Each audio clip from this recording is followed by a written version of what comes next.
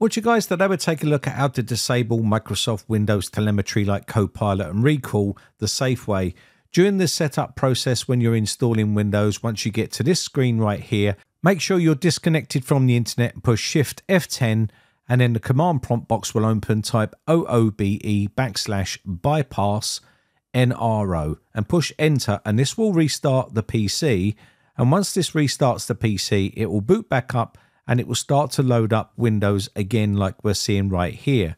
You'll get this splash screen popping up right here.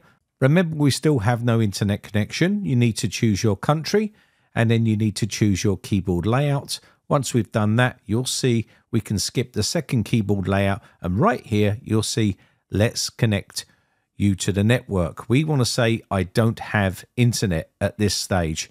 This only pops up because we use that command and now we can go ahead and set up our computer with a local account. This is a great way of bypassing any sort of forced Microsoft account that they try to force on you during the installation process of Windows 11. So now you can just go ahead and go through the normal procedure and say no to all of these ones right here because these are all to do with telemetry.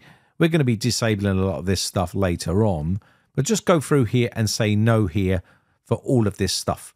Once we do this, go through the normal installation process. Now, before we continue, let's have a quick word from today's video sponsor, CD Key Sales.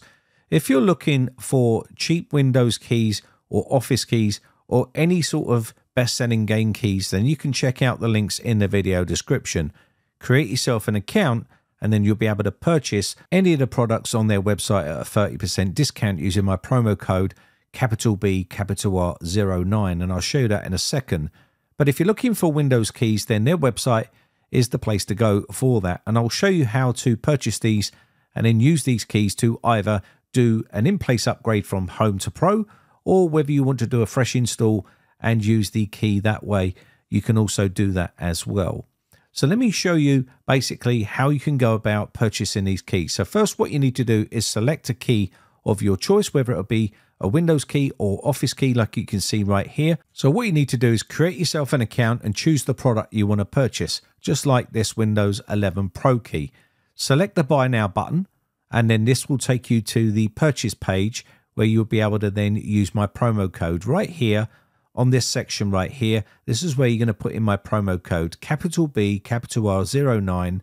Apply that to your order and you'll see the price change right down on the bottom right hand side and this is in Great British Pounds, and you can see that's give us a 30% discount. Submit your order, they will then send you your key. You can then go ahead and activate your version of Windows like this, and you will then be up and running with an activated version, or you can upgrade from Home to Pro. Anyway, let's get back on with the video. So first, what we're going to do here is show you the safest way of going about basically removing all of these applications and also turning off a lot of settings, debloating Windows in a way uh, to make it easier for you. So, like I tell people all the time, using scripts can be risky, especially if you don't know where these scripts are coming from. But if you've got the home version and you've purchased one of them keys and you're now using home, you can use what we call the group policy editor to change a lot of these settings. And it will turn all of these off and they will not go back on even after an update. I've shown you that before and I've proven that in a previous video. So let's go ahead and take a look at WinVer here. We're using 24H2, which is the latest version of Windows. And of course, this has a lot of stuff on here that people don't want, like AI, Copilot, and also recall and all that nasty stuff. So let's go ahead and take a look at how you can go about doing this. Now, I have made a full video on this, so I'm not going to go right away through the whole process, but type group policy inside the search and open up the local group policy editor like this. Inside here, this is all these programs are doing and these scripts are doing. They're basically changing policies and turning these policies off so they are not running. And this is all you can do inside Windows. You don't need any scripts and you don't need any programs to do this. Now, this is where all your privacy and security settings are for your applications. You can go through here, double click on these, and this box will pop up here. Go to enabled and then go to default for apps and then put force deny, push apply, push OK, and repeat that process for all of the applications that you want to disable. I've gone ahead and done all of this, but I'll show you one more time here. Double click on it, push enable. force deny, click apply and click OK. I've left the microphone and I've left the camera because a lot of people use their camera and microphone. If you disable these, you will not be able to use that on Windows. This gives you a lot more control and it gives you an understanding of what you're actually doing on your computer.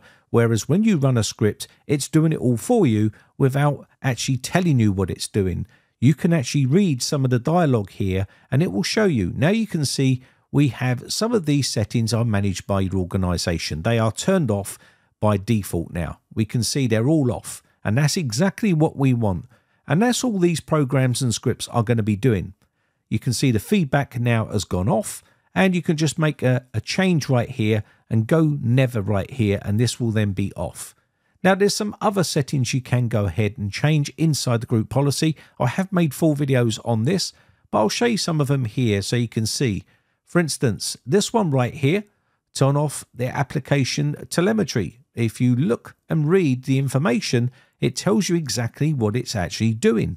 So these are much more easier ways of disabling stuff and debloating Windows because it's actually telling you what to do right here. Whereas the scripts you're running I'm not telling you anything. All it's doing is just running a bunch of settings in the background and turning stuff off. And it might be something that you need. This way you can have more control. Now to remove all the shortcuts and all of the apps on here, there is an actual bit of code you can use. It's very simple and it just removes a lot of the stuff like the Xbox app, Windows apps like Maps, your pro, your phone and things like that. And you can just go through and push yes here and this will give you more control over what you actually want to disable and delete from your computer. Super, super easy a much more easier, safer way of doing things rather than just going ahead and running some script in the background that gives you no control and then you end up deleting or disabling stuff that you actually need. A lot of this stuff is just junk and a lot of people are not going to use it, like Microsoft People, uh, the Skype app, OneNote, and also you've got also the Feedback Hub and a bunch of other different stuff here. You don't have to disable or delete them all. You can choose what you want to do. I'll try and leave this in the video description or on my website. But again, like I've told people before, this is the easiest way of going about doing things because this way you're not going to accidentally remove stuff and then not knowing how to put it back. This is the easiest and safest way of debloating Windows and turning off a lot of settings that you don't need. Now, like I said before, there is some advanced scripts out here that will actually rip a lot more out here but again, like I've said, a lot of stuff can be uninstalled quite easily. And let me show you right here how you can go about doing it. All you need to do is go into settings here, go to apps, go to installed apps. And yes, it's time consuming, but it gives you more control. And just click on uninstall. And it's that simple. There's no need for going out there and trusting someone else's script that you don't know what it's doing. You can then have control over what you want to remove from your computer. Don't worry about Microsoft Edge. Oh, I'll show you how to remove that if you're one of those people that want to remove it.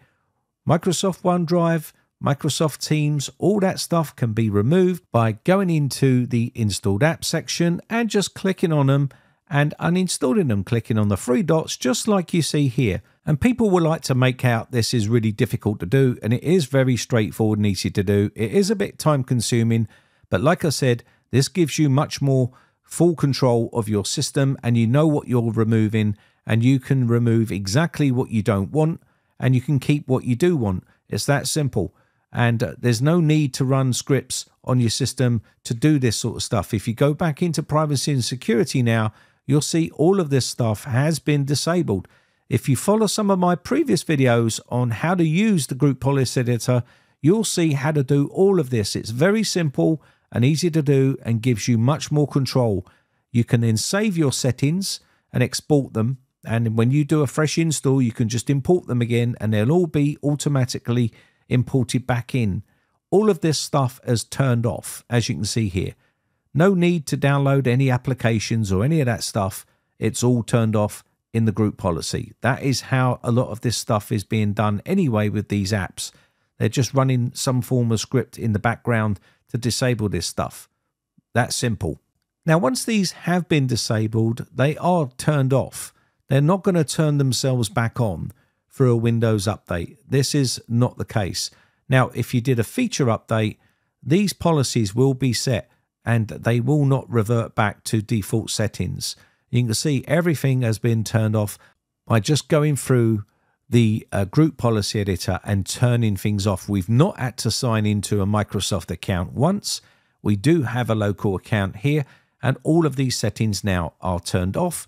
And this will alleviate a little bit of system resources if you're on an old system. I don't really see much difference turning this off on a new computer, in my honest opinion. But if you're running an old potato computer, then this will probably help. All these settings right here can be adjusted. And once you've done these, it will reduce the way it looks down on the bottom. And then you can put in dark mode and you're good to go. Now, download a browser of your choice if you want to uninstall Edge and you don't live in the EU country. That gives you the ability to uninstall Edge. If you're living, say, like the United States, you'll need to use some form of script to basically uninstall that, or you can use a program which I've showed you before to uninstall Edge that way. The Shadow Whisperer's uh, Edge removal tool will actually remove Edge. Unfortunately, you are going to have to use something like this to uninstall Edge if you don't live in an EU country, because in an EU country, Microsoft were forced to allow people to uninstall a lot of this stuff. Whereas if you live in the United States, you don't get that privilege, and you will have to go through a few steps like this to remove Edge from the computer if you want to.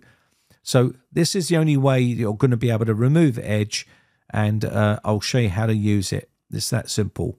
So let's go ahead, and I've already installed uh, Chrome here, but I've just started up this script here because we don't need to uh, have Edge on the system once we get Chrome on here. And you can see Chrome has already replaced Edge.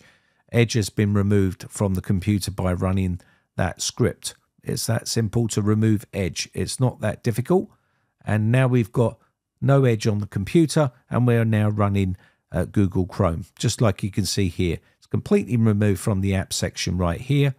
And just put in 30 minutes of your time and you will have a system looking clean just like this. No need to run scripts and use uh, custom ISOs and things like that to have a nice clean operating system with any sort of bloat on there, it will remove it. Yes, you can go into uh, services as well and do some stuff in there. If you want to see a video on that, an updated video, let me know. I've made older videos on it, but if you want to see an updated one, let me know in the comments section down below. Anyway, with that said, my name has been Brian from briteccomputers.co.uk.